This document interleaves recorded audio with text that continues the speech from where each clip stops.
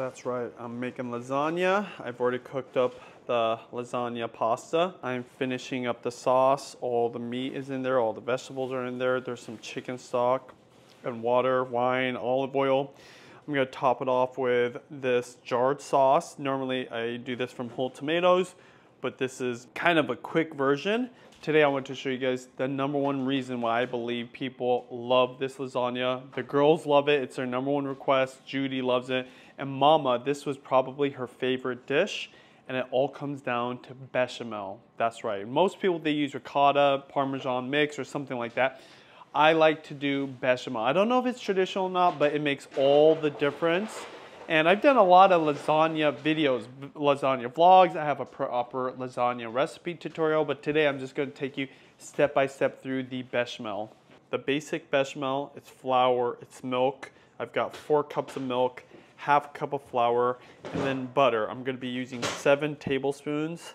If you guys see, the measurements are right there on the uh, side. I'm just gonna cut at seven, and then this is really the bechamel. And then for flavor enhancers, I've got actual nutmeg that I will grate into it just a little bit. Salt and white pepper because white pepper is gonna hide in that white sauce a little better. And then what I do for lasagna is I top it off with Parmesan cheese, which I'm going to grate and then add into the bechamel at the last minute. One of the reasons why I think most people wouldn't do this is because lasagna already takes a long time because there's different steps. You don't want to be dealing with an extra step. But if you do this, it's going to be a whole different experience. Everyone that's tried this, they say they love it, their family loves it. So uh, the only thing about bechamel is it's a little touchy. It takes a while to learn how to cook it. So I'm gonna go through every little detail right now and show you the secret to my lasagna. So I'm gonna start off with the cheese. It doesn't matter what order. I'm just gonna grate, I wanna say about at least one cup of Parmesan cheese. Now normally when you're doing a bechamel, you do not put Parmesan cheese into it, but because I'm doing this for lasagna, I would layer in Parmesan or mozzarella anyways into the dish. This just helps me to skip a step. Now I will add shredded mozzarella, which I'll shred later, but when I get the Parmesan in there. And then it makes the bechamel so delicious. These measurements I'm giving you is enough for one large size lasagna, but if you have leftover bechamel, you can totally put it on sandwiches. I, sometimes I put it on an omelet in the morning. It's so versatile. You can make a small dish out of it, maybe a, a like a white sauce pasta. I'm using this flexible cutting board today because of this reason. Bam. You want it really finely shredded because you want it to melt really easily. Okay, one more thing I'm gonna do is get this pan nice and warmed up. I'm just using a medium sized pot, depending on how much bechamel, but for these measurements, this size is gonna be good. This is what? I wanna say it's like four quarts maybe. Medium, medium, low heat, just to get it warmed up, because the first ingredient is about to go in butter. If you don't know, there's these measurements here in tablespoons. You're gonna put seven. If you put more, like eight, it's not gonna hurt nobody. So I just count one, two, three, four, five, six, seven. Cut it right down the middle.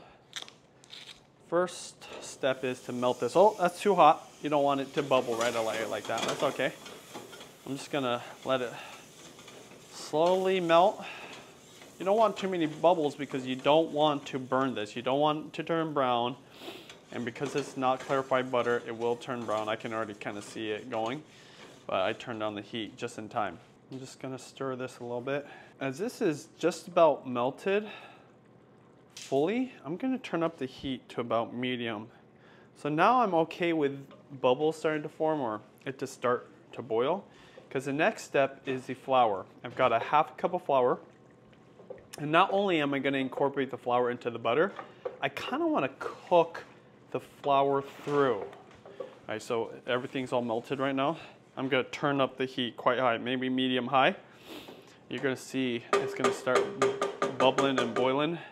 So it's starting to bubble. You can even hear it. I'm gonna throw in the flour.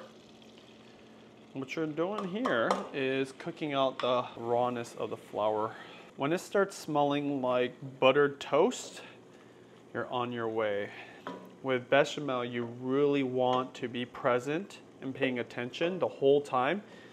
If you burn this, it's gonna change the whole flavor profile of the bechamel. Now it will turn a slight, I wanna call it golden brownish color, but you don't want it to turn brown and you definitely don't want it to burn. As you see it cooking the flour, I would turn down the heat just so slightly. I'm on a medium high, just stirring, stirring, stirring. Woo, that smells good. I actually want it to turn just a little bit, the color. On the edges, I can see it's turning to that brownish color coming through. I've turned down the heat just a little bit. So what I do is I actually turn this, all right, kind of move it back and forth a little bit. I'm getting ready to add the milk. Oh yeah, and now I really smell that buttered toast smell and it's telling me it's ready to go. Now I'm gonna keep the heat on medium high, but one thing I like to do, I move it off to the side when I'm ready to put the milk in because I don't want it to sizzle too much. This is where you gotta be real careful. You see that color? It's definitely the right color now. That's the color I'm looking for. I'm using cold milk. I hear from people different philosophies, but I'm gonna use cold milk because oh, it's the easiest way to do this. Putting in about a third of the milk, and at this point, you really gotta keep stirring. This first part, you're just incorporating the milk with that, they call it a roux, the flour butter mixture. It's on a medium heat right now, and you could change to a whisk here. I'm gonna use the wooden spatula just for a little longer. There we go, there we go. Moving in smaller circle movements with this wooden spatula. Now I'm gonna keep the heat on medium for right now, but I'm gonna start adding in milk because it's cooking. Now when I learned how to do this off that YouTube video, the guy keeps stirring and he's breaking it up with this wooden spatula. This is one reason you wanna use this versus a whisk because the whisk can't really stand up to it. I'm gonna go ahead and add in a whole nother third. In fact, it's gonna be maybe almost half of it. I'm showing you the quick version. The longer version takes more time. This, believe it or not, is a quicker version. Okay, now I'm gonna move to the whisk. Stirring, stirring, stirring. You see it's clumpy, you don't want that. So you're trying to stir it right away. Now it's low and slow. The reason I'm using the whisk, I'm constantly stirring, is number one, I don't want any one part to cook more than the other parts of the bechamel. And secondly, I don't want any clumps, so I'm trying to whisk it all out, back and forth, back and forth. That's gonna just help it move. I do see some clumps, small clumps, but they're still there. So I'm constantly moving them, constantly moving them.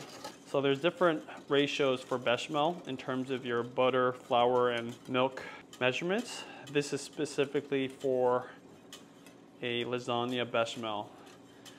I err on the side of a little bit more runny versus silky, smooth, and thick because I'm gonna add that Parmesan. Now I'm gonna add the rest of the milk. Just add it all in.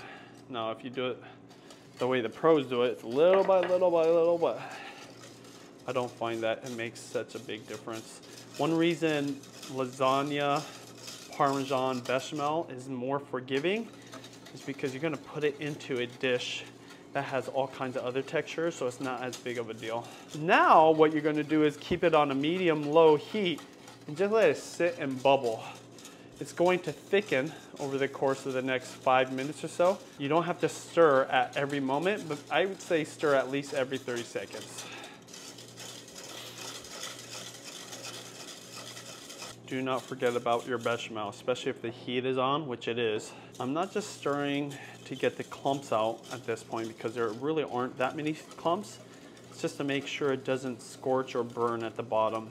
This is where I add the nutmeg. If you've got jarred nutmeg, that totally works fine. I like the fresh stuff. In this one, I don't put that much. A little goes a long way. Then you knock it Oh, that transformed already. Just that small tiny bit of nutmeg. Then some salt. Definitely add salt. Last but not least, before I turn off the heat and add the cheese, white pepper. Mentioned this earlier. When you use white pepper, especially pre-ground stuff, because it's even more white than this, because it get it way finer, that's gonna hide in the sauce. Not that I'm worried, since it is going into a stack of other ingredients. It's just a habit now. And I do like the sharpness. I like the sharp flavor of white pepper compared to black pepper, so that's my preference. I can tell the thickness is there. I'm gonna turn off the heat now. It's good to go. I don't know how important this is, but I'm gonna add the cheese. But you only add the cheese when you're all done with the heat. Tell me, chefs, is that the proper way to do it? I have a new technique for my sauce, so if you want to learn, let me know in the comments. You know as well if you've tried my lasagna recipe. This bechamel is the right consistency. They say that the best way to know is when you can do this. Stick a wooden spatula into your sauce. When you like that, and it stays there. We're gonna add the Parmesan cheese, little by little, not too much, and mix, mix, mix. A little bit, a little bit, a little, little, little, little, little. Little at a time. I mentioned this earlier, but the heat is off. There's enough residual heat in the bechamel. Remember, you have to do a little bit at a time, not all. There you go. Else it'll be too To exactly, you want to give it a chance to melt. But there's enough residual heat in the mm-hmm. pot and the bechamel to melt everything. So what you're going for. As it cools down, it's going to thicken as well. You don't want it too thick because it's nice to be able to drizzle this over. But if it does get it thick, it's not a big deal. But you don't want it too thin. So what I'm gonna do though at this point is I'm going to cover this so that it doesn't create a layer at the top. When it's exposed to the air, it'll create a layer. Woo! Woo! Yeah! Yeah, it's getting thick. Oh my gosh.